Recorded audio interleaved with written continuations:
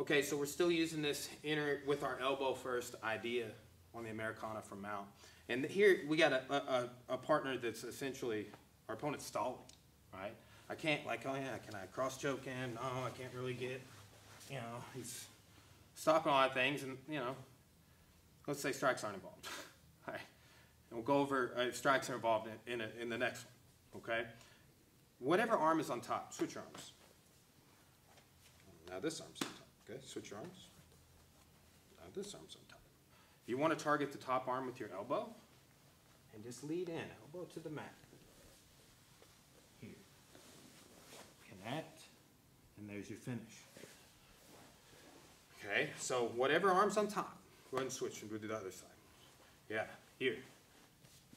Elbow, curl in, drop down, connect your hands, here, okay, and paint. All right, so that's, you know, sort of simple entry against a stalling opponent.